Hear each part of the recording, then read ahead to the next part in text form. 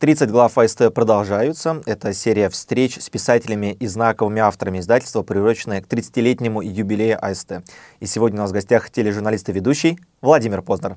Владимир Владимирович, здравствуйте. Добрый день. Спасибо, что к нам присоединились. Спасибо, что позвали. У нас сразу два повода поговорить и встретиться было. Кроме того, что юбилей АСТ, еще и переиздание вашей книги «Одноэтажная Америка». Да, да. Спустя 11 лет она снова вышла. Причем я э, прочитал в вашем интервью, что текст тот же, но фотографии новые. Да. Почему раньше ваших фотографий не было?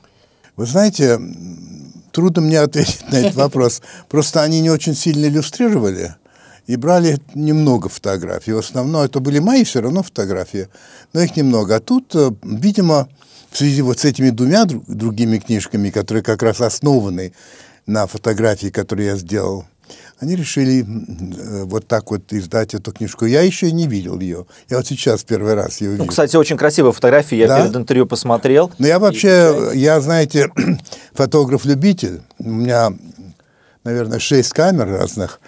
я очень увлекаюсь этим, я обожаю фотографии.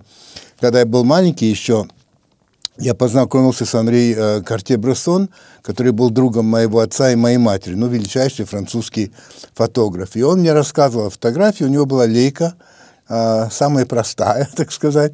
И вот он объяснял мне, что такое фотография, я тогда увлекся. Но мне не купили лейку на день рождения, мне купили кодек, маленькая квадратная коробочка такая. Вот, и я начал снимать, мне было, наверное, сколько лет? Лет, наверное, 10. Сам там проявлял, печатал, все. А, я просто обожаю это дело. Вообще считаю, что фотография – это это и искусство, и, конечно, документ, потрясающий документ. А сейчас печатаете фотографии? Я уже не, на, на пленку не снимаю. Конечно. Нет, я имею в виду, э, понятно, что не на пленку, да. а может быть, э, ну вот у меня всегда вопрос после поездок, да. печатать для меня фотографии, выбрать лучший, напечатать и в альбом вставить. Так и делаю. Да, печатаете? Именно так, да. Почему альбомов у меня, знаете, первые мои альбомы относятся к моей прабабушке. И с папиной стороны, значит, э, его бабушка с мужем открыли фотографию в Кронштадте. Что там делали евреи в Кронштадте, в военно-морской базе, я не знаю. Но, тем не менее. Потом они переехали в Питер, и э, на Невском проспекте, дом 66, была фотография э, Перл. Это фамилия значит, вот, а, бабушки моего отца. А вот.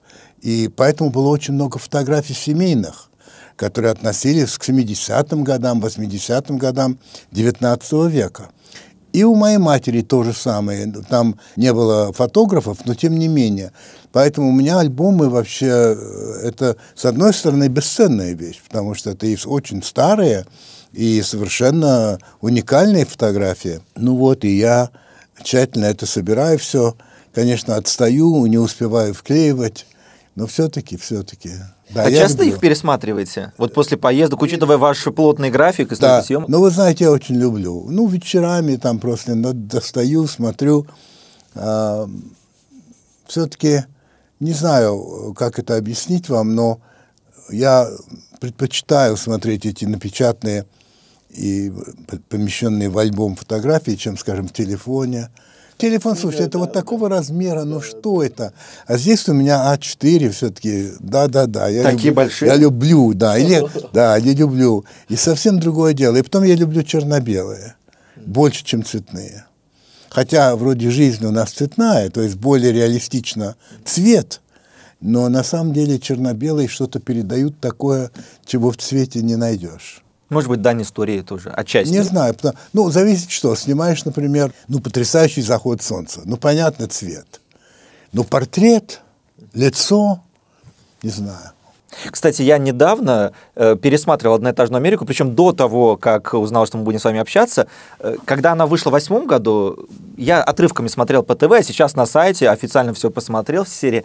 Поэтому у меня есть несколько вопросов именно по «Одноэтажной Америке». Там вы подшучивали над Ургантом, сказали, что у нас вот фотограф есть, это Ваня Ургант, и показывали, как он фотографирует. А вас камеры я там не видел. Да, я... Оказывается, вы фотографируете. Гораздо больше, чем он. А почему не сняли этот момент? Не знаю. Вообще, знаете, это был первый наш опыт. И вообще э, я э, глубоко просто признателен э, Ильфу и Петрову за эту книгу, а, потому что она меня сподвигнула на то, чтобы сделать этот фильм.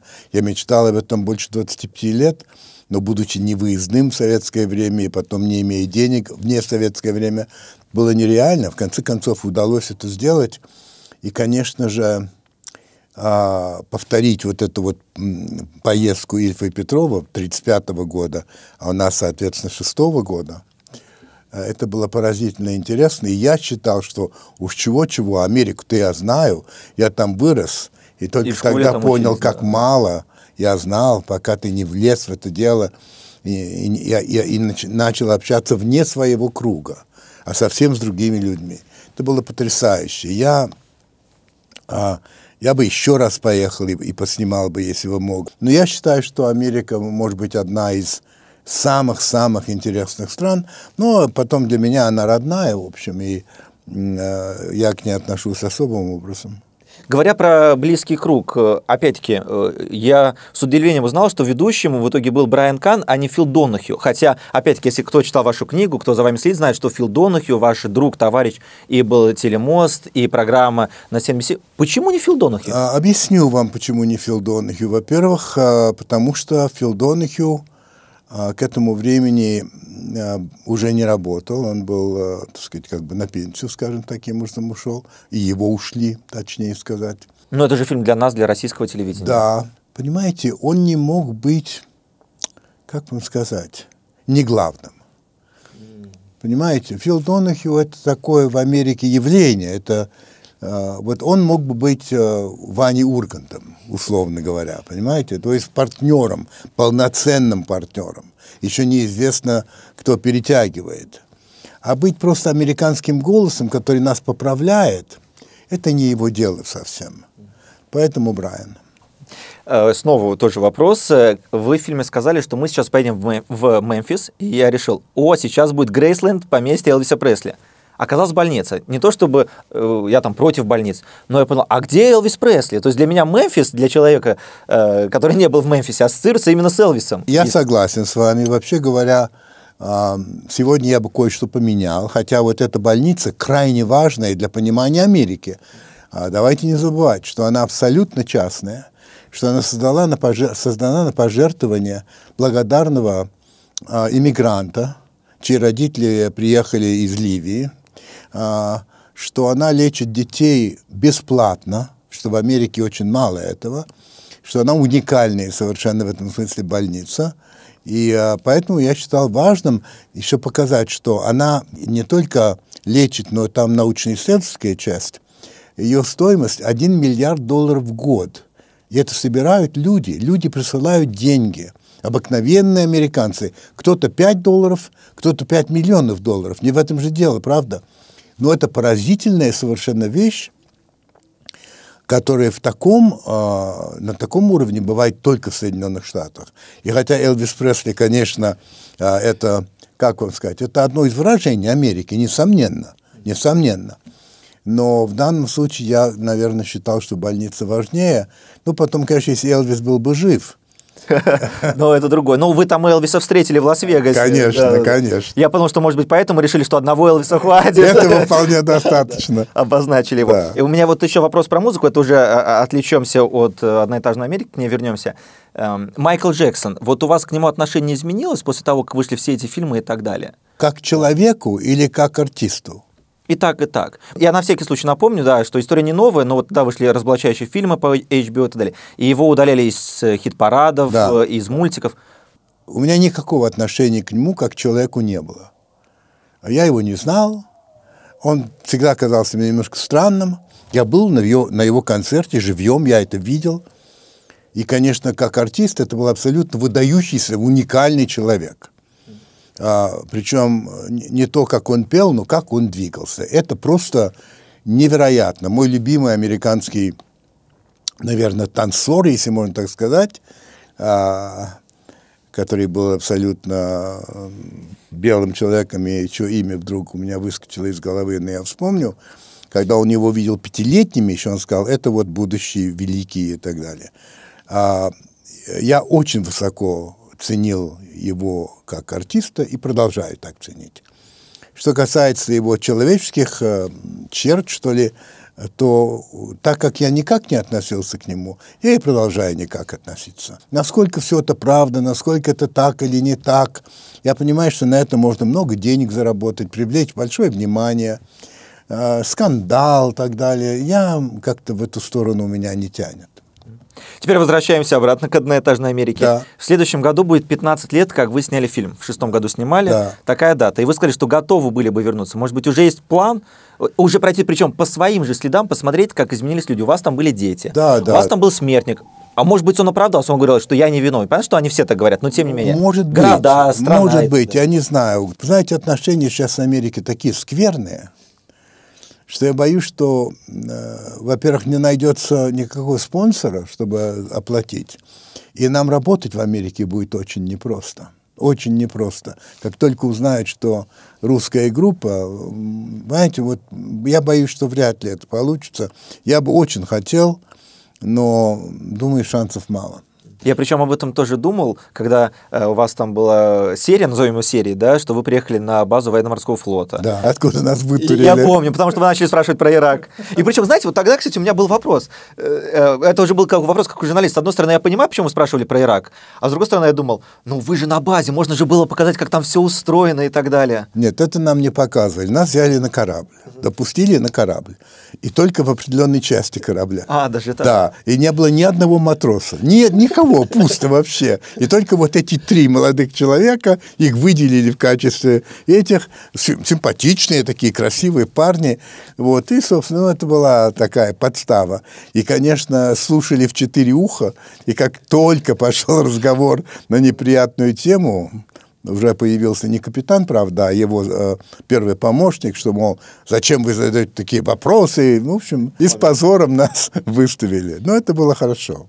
Ну, тоже опыт и так далее. И Да. плюс, э, и вот тогда я тоже подумал, что сегодня бы точно не пустили на Даже близко нет. Потому что я недавно смотрел интервью одного актера, который в России уже не живет лет 20, Костя Ронин. Он э, в Австралии жил, он австралийский гражданин, и он сказал, что когда на съемках сериала «Родина», «Homeland», узнали, что он из России, а он был на, на базе, Так. они сказали, а он шпион! Его хотели выгнать оттуда, хотя он к России не имеет отношения уже лет 20. То есть вот настолько это все доходит до, это ужасно, до фарса. да, да. Если же в теории размышлять, что вот, допустим, вы снова в Америке, снова, ну, есть бюджет, есть все, что бы вы сегодня снимали? Вы сказали, что сегодня вы бы сняли бы другие места, добавили бы к тем. Что бы вы сегодня Ну, сняли бы? э, во-первых, я бы сегодня уделил гораздо больше внимания э, вопросу э, чернокожих. Это вот из-за которые у нас вообще классно. не понимают. Совершенно не понимают, что там происходит. И судят по том- тем картинкам, которые показывают по телевидению и которые являются абсолютно односторонними. Значит, этому я уделил бы гораздо больше внимания, несомненно. А, и также я бы уделил внимание тому вообще, а, как Америка за короткий срок просто раскололась надвое.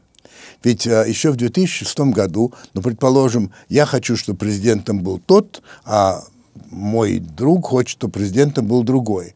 Ну, кто-то из нас выиграл. Ну да, но все равно тот, который победил, это наш президент. Мы оба считаем, да, это наш президент. А сегодня половина Америки говорит, это не наш президент по поводу Трампа. Не наш. И э, я думаю, что если Трамп проиграет, а шансы такие есть довольно, сейчас довольно очевидные, то я не удивлюсь, если будут вооруженные какие-то столкновения. То есть, что произошло с Америкой? И э, другой вопрос, который меня очень э, интересует, это в какой степени знаменитые американские идеалы, знаменитая американская мечта еще жива. Мне кажется, очень мало, еле-еле дышит. Вот я бы об этих вещах больше говорил, чем тогда. И опять-таки лирическое отступление. Трампу 74 года, Байдену, который его конкурент и у которого больше шансов, 78 лет. Да. И у меня вопрос, а где Кеннеди и так далее? Ну вот где те молодые это, это- политики? это очень хороший вопрос, а, но он риторический. Вы понимаете, что такая великая страна стоит вот перед этим выбором. Они не могли найти ничего лучше, чем вот это два человека, а, в сумме их возраст это под 150 лет, не самые блестящие, а, не самые эрудированные, не самые вообще, и это в такой стране. Я вообще-то считаю, что Кеннеди – это пик. Америка достигла апогея своего. И после его убийства и убийства его брата она пошла потихоньку, потихоньку, потихоньку вниз. И продолжает идти, причем все быстрее. Все быстрее.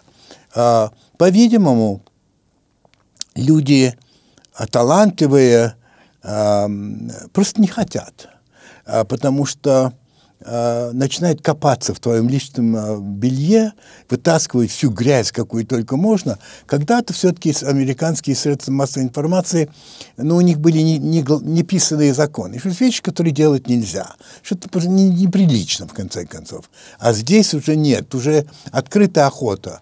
И кто хочет подвергать, подвергать себя вот этому делу? С кем он спал, как он спал, спал ли, ну и так далее, понимаете? Просто люди не хотят, и все, да ну, к черту. А, кстати, про Кеннеди. Вот, кстати говоря, я... Джон Фитцджеральд Кеннеди очень любил женщин. И, да, я знаю, там... И, и, и у него было множество, говорили, да. но никогда об этом не говорили. Ну, при чем тут это? Ну? У меня есть книжка, опять-таки, я не, не успел прочитать, толстенная, про его убийство. Э, прям такое исследование и так далее. Вот вы какие-то подобные такие... Кто автор, не помните? Ну, это американец сто процентов. Не Познер это... по фамилии? Э, похожее что-то. Да, потому что есть такой Джеральд Познер. Серьезно? Да, который написал в свое время книгу, которая называется «Case Closed», «Дело закрыто». Нет, это другая, другая. В котором он доказывает, что, мол, все ясно.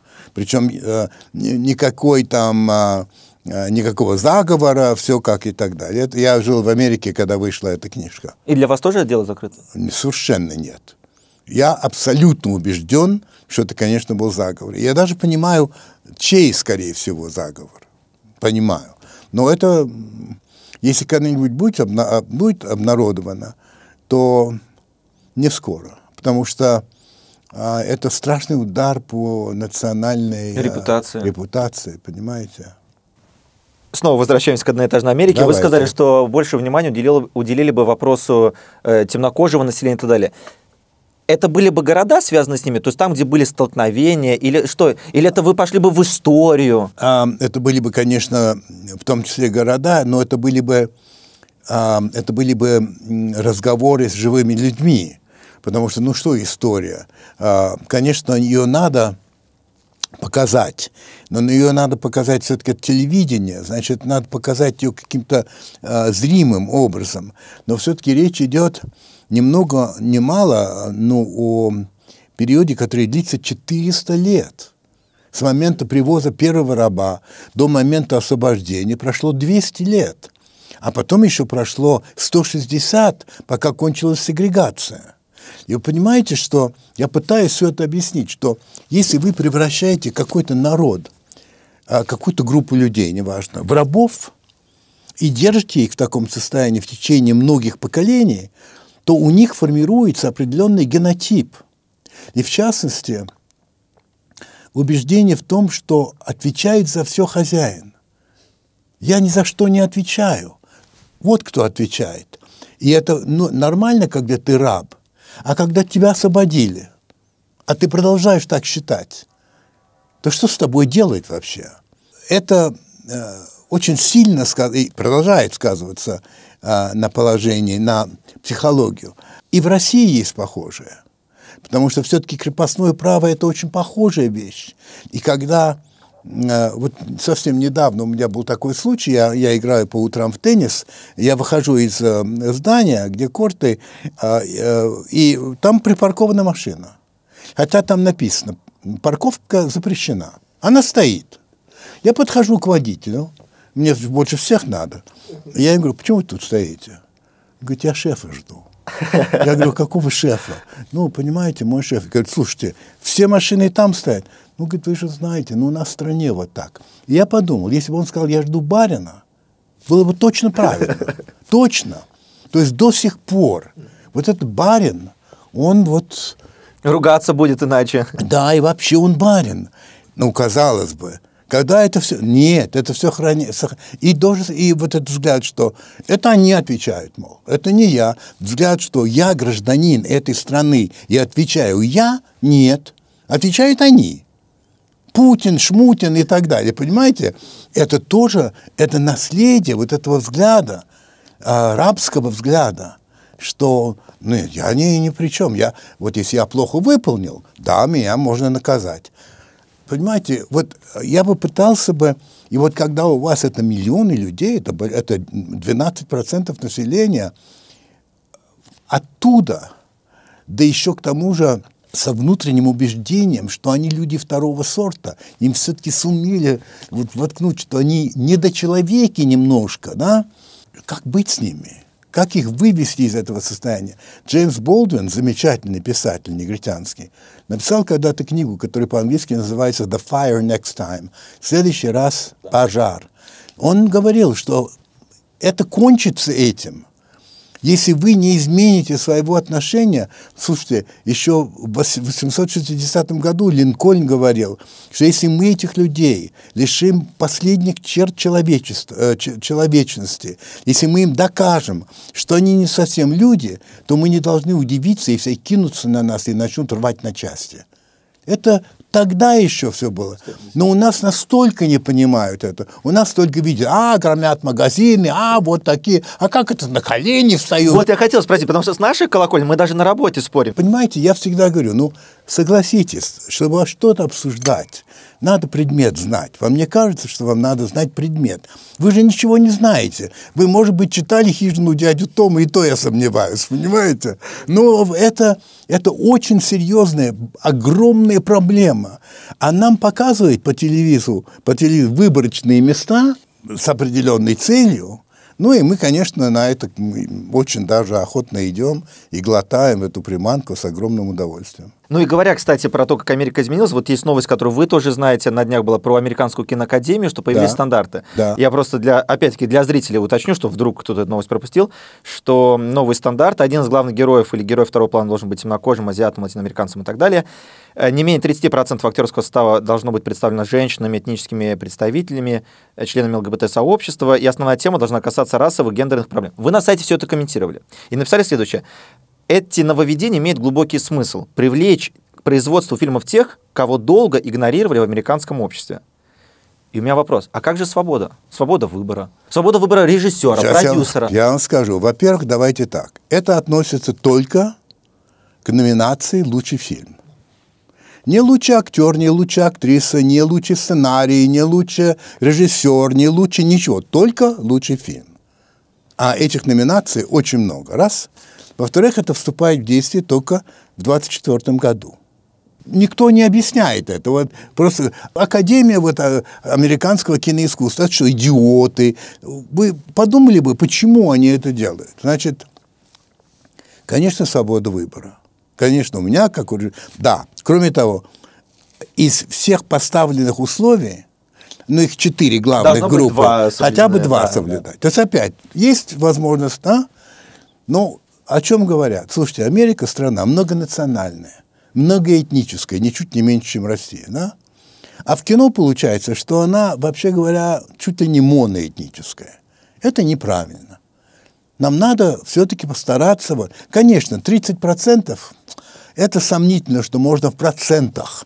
Может быть, надо было бы как-то по-другому это сделать. Но попытка высказывания, что давайте попытаемся все-таки я считаю, это очень правильная вещь.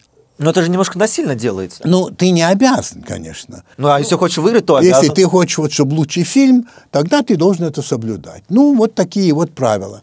А, мне кажется, что, в принципе, это посыл правильный. А, так же, как в свое время, а, я считаю, правильно был посыл а, политкорректности, а, в том смысле, что, ну, предположим, если конкурируя за какое-то место, белые и черные набирали одинаковые очки, предпочтение отдавалось черному. Предпочтение, да. А, потому что, но потом был перебор. Потом уже даже если он проиграл, все равно он получал. Вот это уже не надо. Тут очень, очень трудно найти эту золотую середину, чтобы вот все сказали, да, это справедливо, это хорошо. Обязательно идет перехлест. Ну, вот, скажем, с ЛГБТ, это явный перехлест идет. Существуют уже эти бесконечные категории, и не дай бог сказать не так и так далее. Ну, это да. Опять-таки, возвращаясь к фильму, э, понятно, что вот эти политические события все бы нашли отражение, а культурно что-то поменялось бы? Какие-то новые места?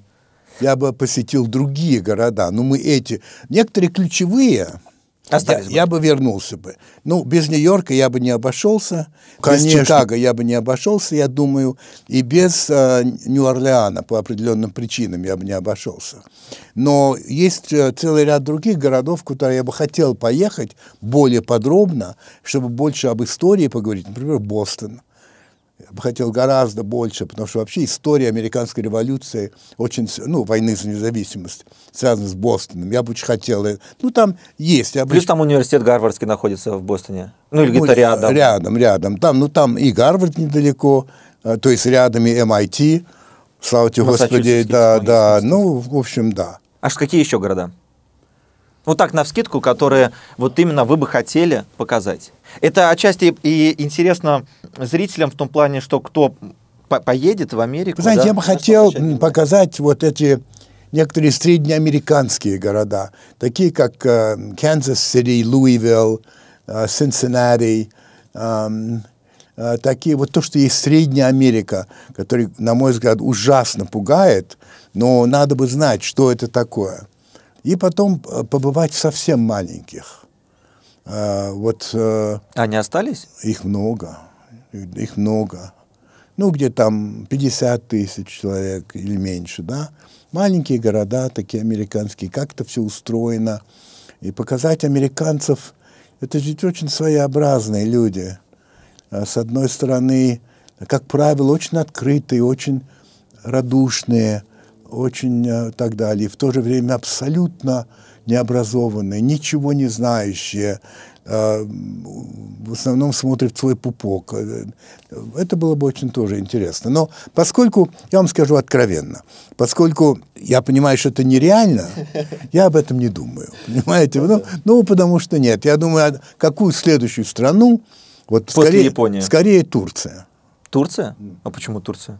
Но меня страшно интересует, слушайте, все-таки это древнейшая культура. А, Константинополь, э, Османская вообще империя. все, да, это Османская империя, это невероятно интересная страна в этом смысле. Мне осталось две страны, которые вот я хотел бы, да, Турция и Индия. А, потому что Индия тоже, по-моему, невероятно интересная страна. Китай, да, но я в Китай не поеду. Я себе пообещал. Хватило одной азиатской страны? Я, нет, просто в тоталитарные страны я ездить не хочу. У меня политические убеждения. Я понимаю, что там не дадут ничего сделать так, как ты хочешь. Я не поеду туда, не поеду в Северную Корею. А, не потому что я боюсь. Я просто понимаю, что нет, не хочу. И все. Ну, Австралия, ну, как-то вот... Я просто знаю. тоже сейчас об Австралии подумал именно. Вот Мне кажется, она же вам близка в том плане, что и язык, и культура. Ну, и язык-то, конечно, и потом тоже страна иммигрантов, так же, как Америка очень. Да. И даже, можно сказать, бандитов, потому что из Англии Ну, выбирали... Это как колония была. Не, Ну нет, вообще Ну, э, людям говорили либо повесить, либо, да. и говорили повесить многие, говорили, что страшно туда. Может быть там, но пока что, вы знаете, мы настолько заняты своим японским фильмом, что сейчас не до, не до чего. А, Мы надеемся его закончить, ну, в смысле закончить все к концу октября. Уже есть название «Обратная сторона кимоно», я посмотрел, Да, приложил Иван обратно, Ургант. да, да, и да. в то же время вы сказали, что фильм для вас оказался самым сложным, вы даже Самым. думали его бросить. Да, да, был момент. Если вот было такое состояние, это вызов для вас было, что ли? Не сломаться, не бросить и продолжить? Да, Или- да, серьезно? конечно, да. Потому что, ну, настолько все было непривычно, настолько ничего не удавалось вначале в интервью, настолько я не понимал, как надо задать вопрос японцу, а не так, как всем остальным, если ты хочешь получить ответ. А, что просто я в какой-то момент решил, что ну нет и нет, ну не получается. Потому что, ну ладно, не знаешь, ну я не знаю, там, я когда был в Скандинавии, я тоже по-шведски не говорю, но никаких затруднений не испытывал. Ну, там Хотя шведы говорят. все говорят по-английски. А японцы, когда они говорят по-английски, они думают только, что говорят по- по-английски. Они ужасно плохо говорят, понять ничего нельзя. И все, конечно, японский. А потом, когда нач- начинаешь понимать, что перевод совершенно не соответствует тому, что ты сказал, потому что а, слова эти по-японски означают другое. Ну, вот у меня был пример с одной женщиной японской, чудесной совершенно, которая, кстати говоря, а, выросла в Англии, поэтому прекрасно говорил. Я, я ей говорю, ну, вы нас считаете варвары? Да-да-да, я читал. Вот это да. вот, да? И она говорит, да, но только мы варвары понимаем не так. А в каком смысле? А мы понимаем варвары как неуклюжие как слон в посудной лавке. Вы размахиваете руками, выставляете ноги, громко говорите, не умеете мелкие вещи делать. Вот вы неуклюжие. В этом смысле а по- по-русски варвар это совсем другое. Поэтому если бы она не объяснила, а, ну да, она говорит, а, ну понятно, значит. Так нет, нет, она имеет в виду другое. И это постоянно так. Когда японец тебе говорит спасибо, и ты думаешь, ну спасибо, это спасибо. Нет, он говорит тебе, ах, как мне тяжело. Почему? Да потому что ты ему сделал нечто приятное, за что он тебе благодарен. Значит, он должен вернуть тебе эту благодарность. Он об этом думает, что раз ты это сделал, то он тебе должен. Ах, как мне тяжело. Вот что значит спасибо. И вот ты все время сталкиваешься с этим, и пока ты поймешь, и единственное, что меня спасло, это чувство полного, ну как бы сказать, полной беспомощности и искреннее желание понять, что японцы просто видели, что я страдаю, что пытаюсь, и они сжалились. Вот. И со мной действительно они говорили. И было потрясающе. Они такие замечательные. Они потрясающие совершенно люди настолько трогательные, настолько вообще просто я влюбился совершенно. А, я понимаю, что я там жить не смог бы. Вот. И потом порядки, конечно, но в то же время это вызывает такое восхищение. А, вот они сами а, просто, не, не знаю, несколько раз у меня просто слезы были на глазах от, от того, как они говорят. Знаете, поразительно совершенно. Это отдельная порода. Она отдельная, она сохранилась, ей же очень много тысяч лет, она ни с чем не перемешалась, она не разбавлена ничем. И вот тебе, пожалуйста, в чистом виде. Это что-то такое просто необыкновенное. А вам в итоге удалось понять, как они добились успеха в том плане, что э, одна из самых развитых экономик мира, одна из да, самых я, развитых, да, развитых да, конечно, стран? конечно. Я думаю, что главное это самураи. А, когда все междуусобные войны закончились, а, то самураи стали чиновниками. И в течение 300 лет они управляли страной. А, они написали все положения и все законы. Причем подробнейшим образом, какую одежду должен носить крестьянин, какой у него быть, должен быть дом, какие украшения могут быть в этом доме, какой дом должен быть у торговца, какой дом должен быть у военного, как он должен быть одет, как то, как все. То есть нет вещи, которые бы они пропустили. И в течение 300 лет весь японский народ, как один человек, исполнял это. И поэтому, когда наступил момент, когда один премьер-министр решил что пора индустриализацию развивать, понимаете, вся страна, как один человек, пошла по Добровольно этому, причем. Добро, с восторгом. А, и, конечно, успех поразительный, но успех именно для человека, который вот я делаю это, а другой делает это все хорошо. Но когда уже индустриализация прошла и пошел хай-тек, это не годится. И Япония пошла вниз. Она была ведь на первом месте по экономическому развитию. А сейчас она уже на третьем. Потому что надо перевоспитывать. Люди, ведь приказ как? Вот как делается? Начальник, его на тын, тын, тын, тын, тын, тын и сюда. И обратно только так. То есть прямо ничего не решается. Иерархия, иерархия во всем в каждом решении, в каждом шаге. Все прописано. И привыкли только так. И, конечно, это очень тормозит сейчас. Очень тормозит. Например, раньше ты пришел в компанию работать, ты там до своей смерти. Это твой дом, это твой отец, твоя мать. Там Сейчас, конечно, это все меняется. Таких компаний уже нет. Поэтому идет слом.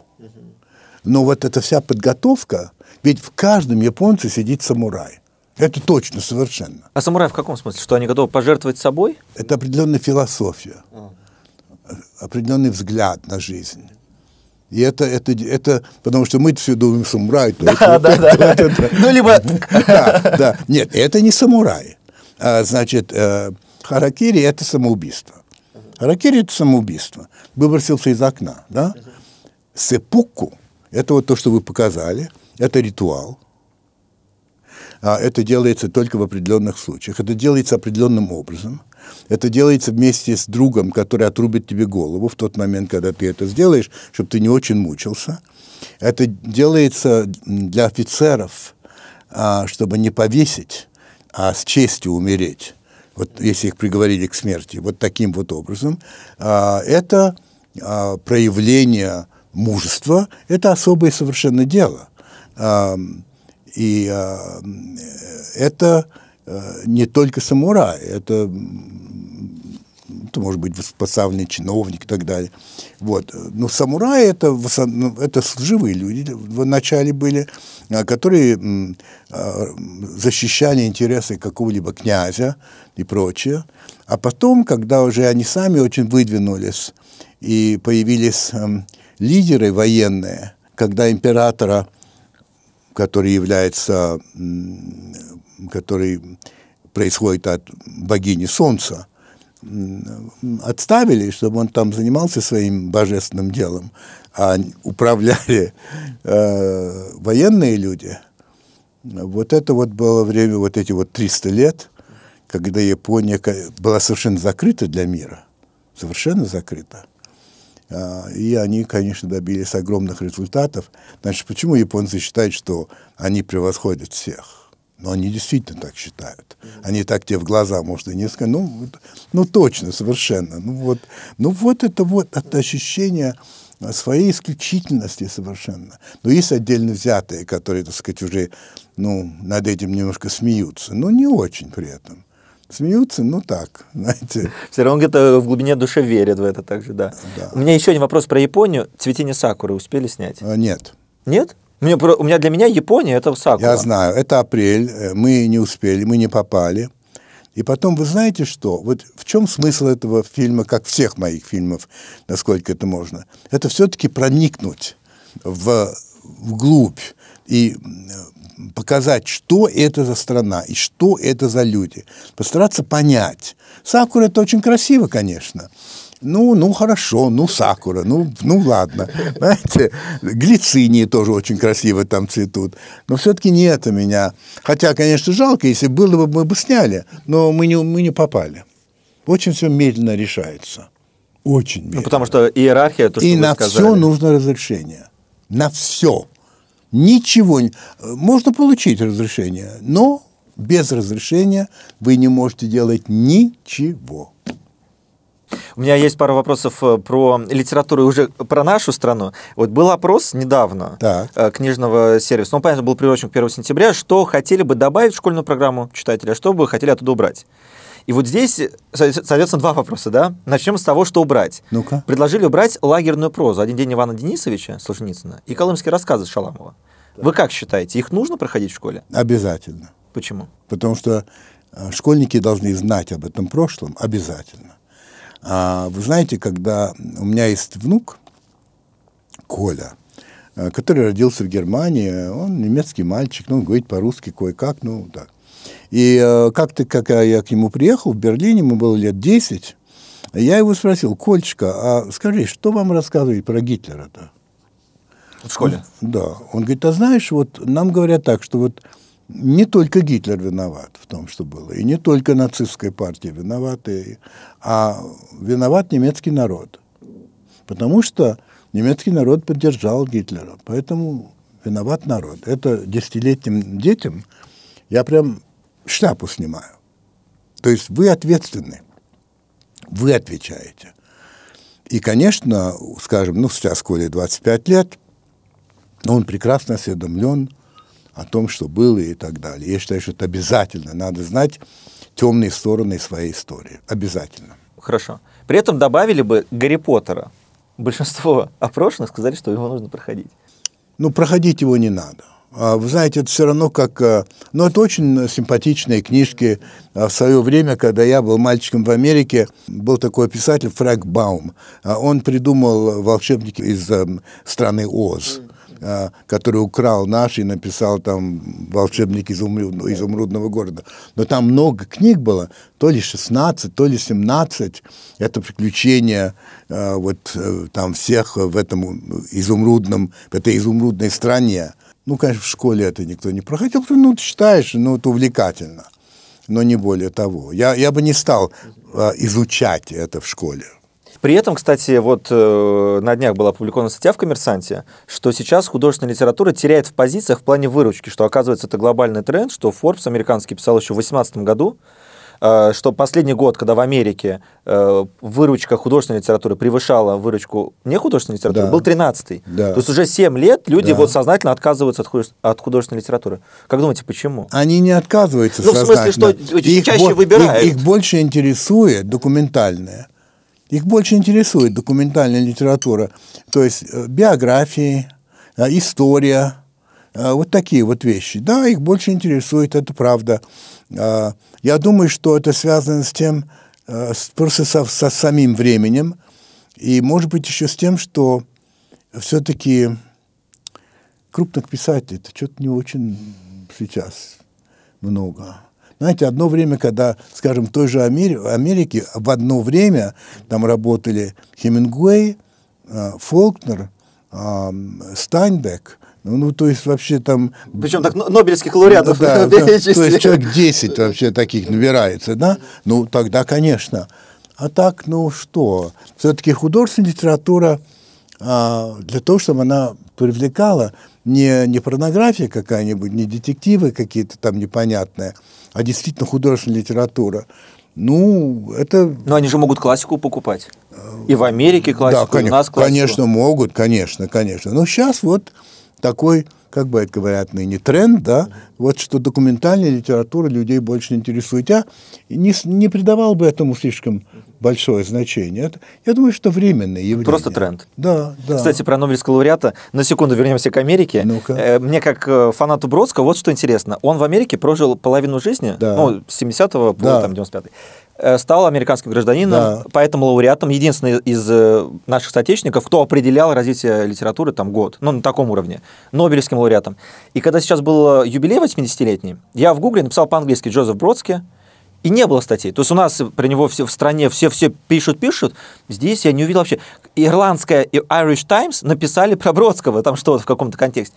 И я подумал, ну неужели так быстро забываются? Он преподавал в университетах престижных, он у них жил. Ну, то есть эссеистика его и так далее. И неужели вот настолько быстро в Америке сменяются вот эти литературные вкусы и вообще ну, сменяются во-первых, давайте, поколения? давайте вот... Или здесь вопрос свой-чужой, что он чужой, он э, Вопрос не из- в том, что он чужой. Все-таки вопрос в том, что а, популярность его, а, популярность а, Солженицына, а, популярность Бориса Пастернака, это все было из-за политики. А, ну тоже Советский Союз, холодная война, противостояние. Все. А Эрнст неизвестный, все то же самое. Как только все это кончилось, ну, какой интерес? А что Бродский? Бродский прежде всего поэт. А, Он, его стихи английские. Ну, да, да, это, это мы знаем, да. Вот. Ну и, собственно говоря, чего? Странно, что там не, не- о нем не написали, потому что он великий поэт, что говорить. Солженицына тоже подзабыли. Ну, уже все, Коль, что бы один день Иван Денисович, да кто помнит. Э, Там никто. Ну да. Для них это была возможность э, э, сплясать джигу, так сказать, но не более того. И несколько э, финальных общих вопросов. Один день Владимира Познера. Вот ваш день, он как строится? Во сколько вы встаете, что вы делаете? Вы Ну- сказали, что утром вы играете в теннис. Я играю в теннис, да, с восьми. С 8 утра. Да. Поэтому я встаю в 7, значит, там душ принимаю, дыр-дыр-дыр. А завтракаете до тенниса? или Нет, потом? нет, я ем банан, может быть, там вот что-то. Потом иду играю, потом возвращаюсь домой, опять-таки принимаю душ, завтракаю, А, и дальше занимаюсь делами. У меня их, ну, там э, письма, надо отвечать на какие-то письма, надо готовить какое-то выступление, надо читать. Ну, в общем, первая половина дня, вот она уходит так, потом я где-то там обедаю, у себя дома чаще всего, потому что я дома больше бываю. А, ну, и потом во второй половине дня зависит. Если у меня нет встреч, ну, вроде как вот сейчас с вами, а, то я пишу, вот я сейчас работаю вот над, э, из этой серии над книгой «Английская тетрадь». Вот. А сколько, кстати, времени э, вам нужно? Я имею в виду, вот одна такая книга, это в месяцах сколько? Это очень трудно сказать, потому что иногда вдруг идет, а потом стопорится и не идет вообще. И сказать, что я в это время работал, я не могу, но в то же время все время у меня сидело в голове, а да, не да. двигалось. Я думаю, что одна такая книжка, ну где-то год. Год? Угу. Пока она вот, родится. Где-то год, да. Она, вот видите, тоненькая, но тем не менее. Ну, очень хорошо написано. Это вот, э, как я говорю, размышлизмы, понимаете? Ну, а надо, чтобы что-то там, что-то работало. Это очень странная вещь. Иногда вот просто выливается просто. Потом как бум, и все, и непонятно, и ужасное настроение. И я хожу по квартире, шлендрую туда-сюда. Ну, слушаю музыку, очень люблю. У меня очень много музыки. Больше всего я люблю классику и джаз. Ну, и народную американскую, да, я слушаю там. Иногда это приводит к тому, что вдруг возникает Вдохновение опять творческое настроение, да, да, да. О чем мечтает Владимир Познер?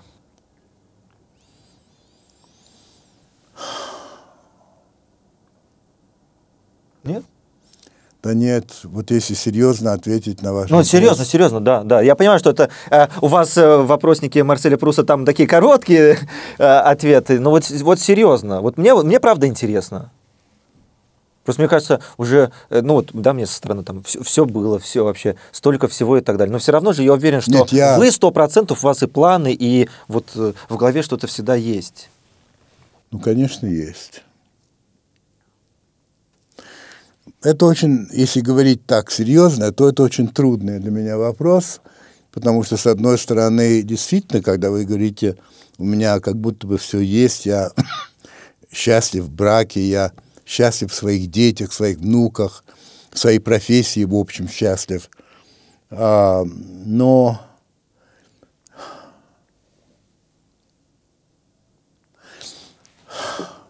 я все время ищу примирение, что ли, с самим собой. Внутри я очень противоречивый, а, недовольный с, с собой, а, какое-то ощущение а, даже не знаю, как это вам передать. Ну, говорят там всякое, вот, э, там легендарный, то все, и все это раздуто невероятно. Я действительно убежден, ну, я хороший журналист, ну и все, ну что, ну вот, а, вот это вот просто вызывает у меня неприятие и чувство неловкости ужасного. И я себя расцениваю или оцениваю гораздо скромнее, скажем, чем вот чем а, многие другие, и действительно конфликты внутренние, и правильно ли я живу, неправильно ли я живу, как надо себя вести вот в нынешней ситуации, надо ли оставаться на Первом канале, где мне не нравится все абсолютно, но где я все-таки могу делать то, что я делаю, и я знаю, что для многих людей это важно. Или не надо оставаться, надо уходить и, э, и пытаться где-то что-то другое делать. Надо как-то, вот как надо. В общем, это все очень трудно, и не знаю, я когда-нибудь найду ответ, наверное, нет. Но если говорить о том, о чем я мечтаю, это вот э, быть в ладу с самим собой. Класс. Это если серьезно вам ответить. Спасибо. И последний вопрос. 30 лет ТСТ. Э, именинника принято поздравлять. Что пожелаете издательству?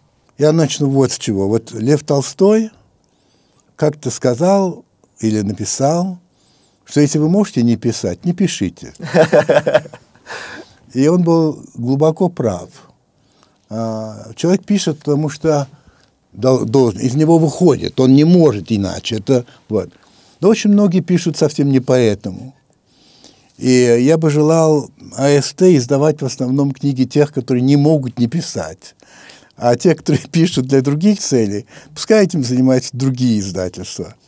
Пускай у издательства АСТ будет чувство гордости, что издаются настоящие писатели. Потому что писатель это, это совершенно... Я себя не называю писателем, я стесняюсь даже это называть. Я журналист, который пишет. Вот. Писатель это совершенно особая штука. Это люди, которые обладают даром предвидения, которые знают неизвестно почему, но чувствуют, что будет – задолго до того, как это происходит, гораздо лучше политологов, футурологов. Это особые совершенно люди, и их надо, в общем, лелеять, холить, беречь. И вот я очень желаю АСТ играть вот эту вот роль. Спасибо вам большое. Сегодня с нами был Владимир Познер.